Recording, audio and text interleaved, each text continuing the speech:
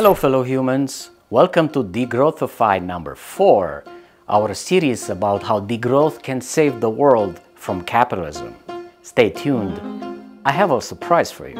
As you probably know, there are many definitions of degrowth. I often use this one, so today we will unpack it and highlight some beautiful ideas from degrowth that not only will cause capitalism to wither away, but will also inspire you to imagine how life can be much better in a post-growth society. At the end, I will also try to answer the very difficult questions. How can we change our lives? How can we help with this transformation of society? And now the surprise! Meet Dear! Dear stands for the Degrowthy Eminently Amiable Robot. She will help us with our videos. Uh, say hello, dear. She's often very shy and tends to use text more than voice. Okay, let's go back to our video.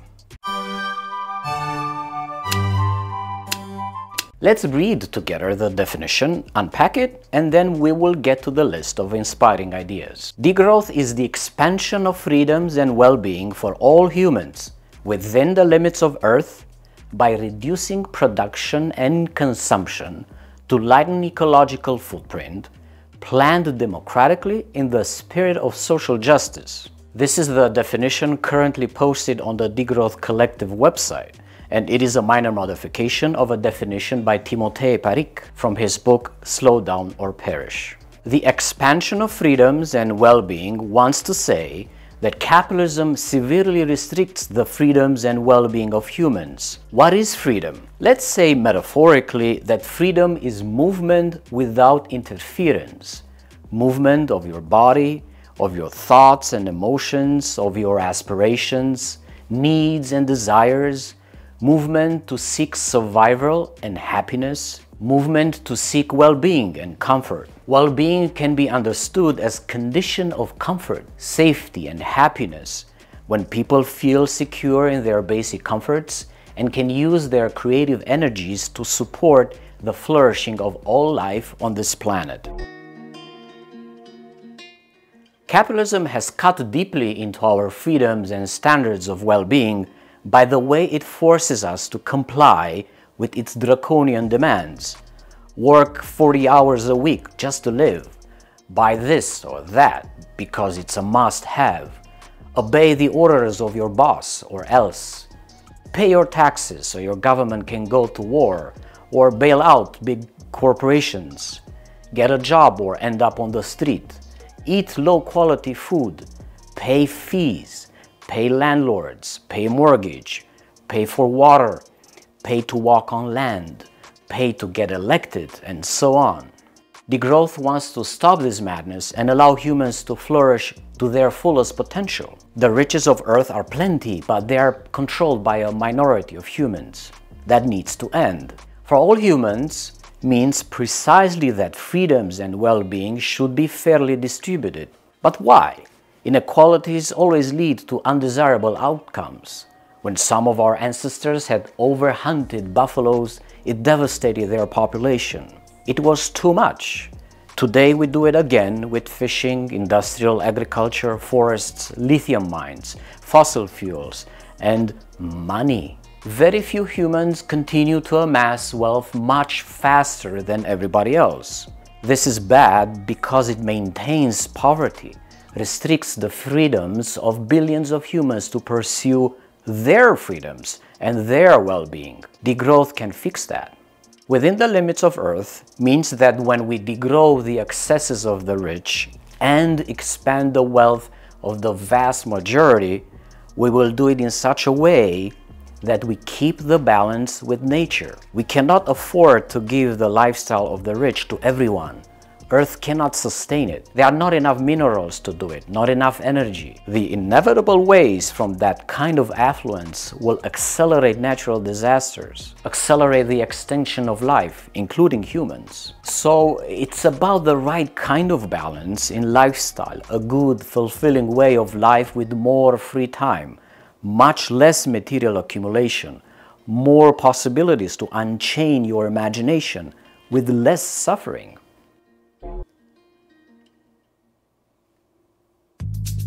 By reducing production and consumption means that in order to get there, society will go on a healthy diet on average. Rich countries will cut their material and energy consumption by vast margins, up to 90% of their current levels, so the other countries can grow more towards just levels of freedom and well-being. It is not enough if we use paper straws and reusable hemp bags in the global north. We will also stop producing fast fashion, luxury cars, private jets, silly gadgets. We have blamed consumers enough for their choices. It is time to take insanity off the shelves so we are no longer tempted to buy it. Same goes with advertising. It will be phased out, so we will not be constantly reminded what we must have in order to maintain a fake image in society. To lighten the ecological footprint is the material side of the goal. All these have in mind our relationship with the environment. Capitalism has pushed too much into the environment, has breached boundaries, has taken too much, has wasted too much, has destroyed too much in the quest for profit, claiming falsely that it was in the name of increasing well-being. It increased it all right, but for the top people always the top people and not the billions in the global south who did the labor or the working class in the global north who did the overtime and the multiple jobs. Planned democratically is the way to do the transition. Democracy as it stands today has been corrupted by the political system that stopped representing the people. True. The world now has 57 authoritarian regimes, 35 hybrid regimes, 52 flawed democracies, and only 23 full democracies. However, almost all of these describe themselves as democracies. How are we going to end capitalism if people don't actually have the power? Surely not by allowing tyrants to do it, but by pushing for even more democracy. We'll come back to this in the spirit of social justice, describes the motivation and purpose of this transformation of society. It's the spiritual side of the goal. We do it not just to become friends with Earth and all other beings, but also to establish meaningful justice for everyone and obvious and subtle privileges because this is the only way we can continue as species without suffering the fate of buffaloes at the hands of hunters. All this sounds great and beautiful. Who doesn't want this kind of society? Yes, dear. Time now to take out some practical inspiring ideas from the degrowth definition. There are many, but we'll just stick to seven in this video. Work time reduction, job guarantee, universal basic income and maximum income, free public transit, right to repair, decreasing material caps, refreshed democracy. Important to note that many ideas for the transition will work together in order to be effective. Work time reduction. What if we worked 15 hours per week in the economy we have today for the same pay? A worker at Smartphonia Inc. will go home after finishing the 15 hours in a week and then do whatever. For Smartphonia, it will mean that they will either have to hire more workers to keep the same production or produce less with the same number of workers. We actually want them to produce less which will happen if we observe the other ideas in this list. In this scenario, having much more free time, the employees can discover a new way of life that will make them happier and freer. We will no longer have to earn a living because living is a fundamental right that does not need to be earned.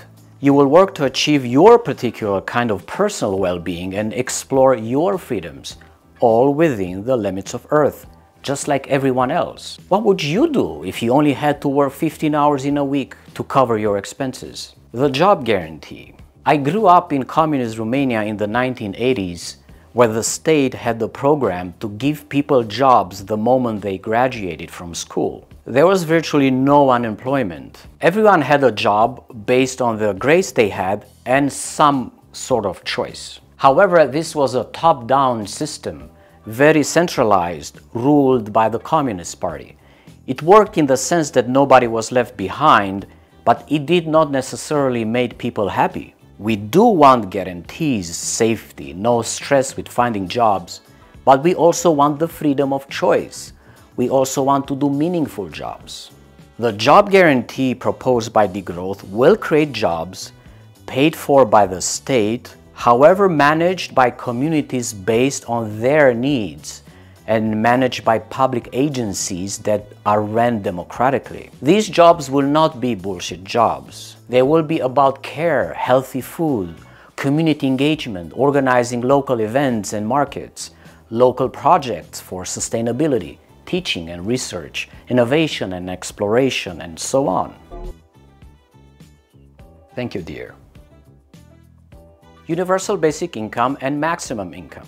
What if we paid every adult citizen an unconditional monthly income just enough to cover basic living expenses? No questions asked, no means testing. At the same time, to avoid run-up inflation, we can put a maximum limit on income for everyone. Let's say no more than $111,111 per year before taxes. So no more billionaires, no more millionaires. I can hear the blood of capitalism boiling. Give everyone free money and limit how much I make. Okay, hear me out. We know freedoms cannot be infinite. We know inequalities are bad. We know we transgress the limits of the planet with our way of life. To restore the balance and keep our freedoms, everyone will come to understand when enough is enough and that efficiency without sufficiency becomes deficiency.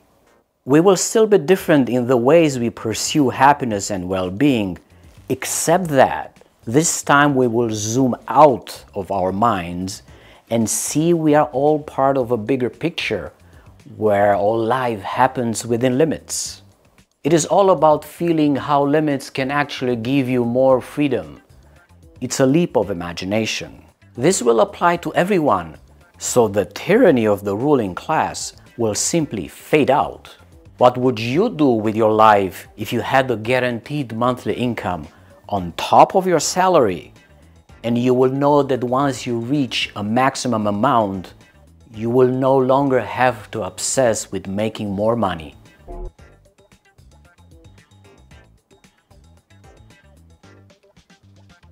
We do need to get around, but we have too many personal cars, too much traffic, too much pollution. If we made all public transit free, reliable, electric, beautiful, fast, we won't have to keep a car in the garage. If we replaced each gasoline car with an electric car, we wouldn't solve the problem. We will still have the traffic. Pollution from fossil fuels will switch to pollution from lithium mining or whatever mineral they need to build the new fleet. Free public transit boosts freedom. We will connect with each other more and enjoy the ride.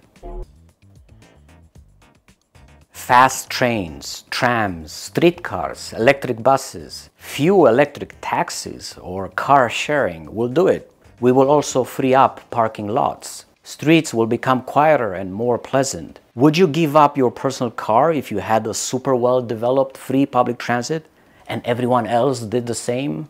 Right to repair. Capitalism wants to sell, sell, and sell. That's why products are not made to last, so we buy them again, or the upgraded version, or the new invention that solves the same needs or some fake needs.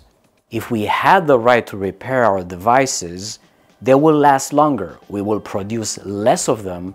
We will spend less money. We will waste less. Manufacturers can ensure their product can be easily repaired. Manufacturers can also be engaged by law to be fully accountable for the entire life cycle of the materials used in their products, from how the raw materials are procured to how waste is managed. Every step in the process will respect the limits of what the environment can support, taking from nature just enough to allow nature to regenerate and disposing waste to avoid damage. Would you like your stuff to last much longer? Decreasing material caps. I will now say a difficult word, rationing. We do it all the time right now with water, toilet paper, gasoline, electricity, diet, labor, credit. Rationing materials actually means not extracting from Earth more than what allows Earth to regenerate. Of course, copper, lithium, iron does not regenerate after we extract them, but the surrounding environment can regenerate. Responsible mining is a way of rationing extraction. If we limit how much we extract, which includes fossil fuels, production will immediately decrease, which is what we want in the first place. If we put the cap on materials, we actually leave room for businesses to innovate freely within those limits, while also observing the other ideas put forward by degrowth. Refresh democracy. This is actually what cuts to the heart of capitalism. There's no democracy inside corporations. We must obey our bosses. We cannot elect our bosses. And we have no power whatsoever if we do not own shares of the company. Imagine if companies were organized democratically.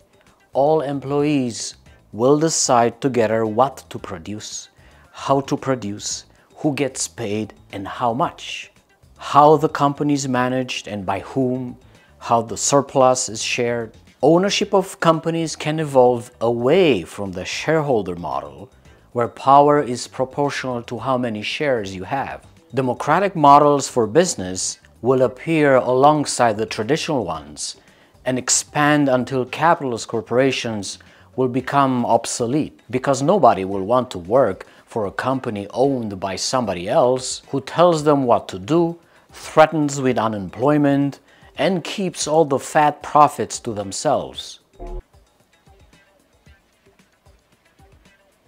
Dear knows. Not only that, even political democracy can use a boost. Who says we need to elect our representatives? We transition to a mixed system based on sortition and sociocracy, which will essentially make the party system obsolete and eliminate money in politics. I will make a video about how this would work. Would you like to work for a democratic company and live in a true democratic society?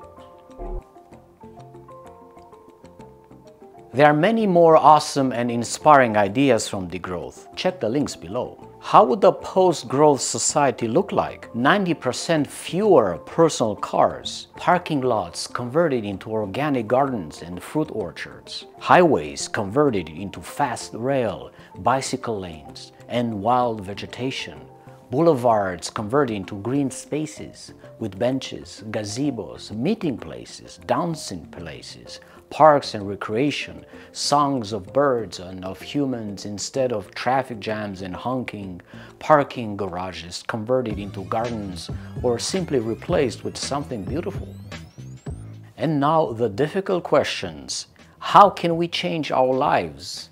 How can we help with this transformation of society? There are several ways to do degrowth. Let's call them slow degrowth and fast degrowth then everything in between. Slow degrowth is what each one of us can do on a personal level for our own psychological and spiritual welfare. This may be called minimalism or voluntary simplicity or alternative hedonism. It's about finding freedom and happiness with a lifestyle that has a very low material footprint. If you grow your food, you won't have to buy frozen chemicals. If you mend your clothes or use fibers like organic hemp, you won't have to buy snazzy garments just to prove a point about who you are. There are joys to be discovered in the post-growth world. It starts with unshackling our imagination.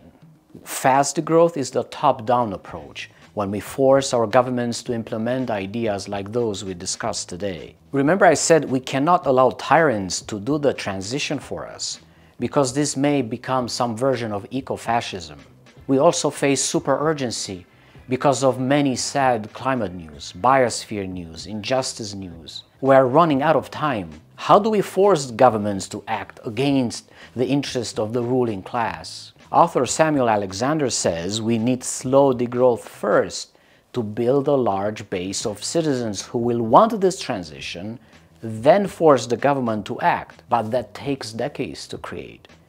What do we do? We don't have time. I think we probably need to try everything. My personal approach would be to build a list of seven, ten ideas like we discussed today and get organizations on board with them so everyone starts demanding them at the same time. Labor unions, indigenous groups, environmental groups who actually have political power to strike, stop production, and take corporations and governments to court. What if hundreds and thousands of organizations all engage to demand for the entire society work time reduction, job guarantee, universal basic income and maximum income, free public transit, right to repair, decreasing material caps, refresh democracy, instead of playing whack-a-mole only with issues pertaining to their group. Capitalism likes to sell you more refrigerators and air conditioning units to tackle global heating. But capitalism keeps forgetting that this perpetual growth of production was the cause of the climate crisis in the first place. It's time to get serious about these issues and remain focused on what really matters, freedom, well-being for everyone. Thank you for watching. Help us grow this community and support me if you can. When we reach 10,000 subscribers, I will be doing a monthly live stream where I will talk about much more, take your questions and have fun. See you in the next video.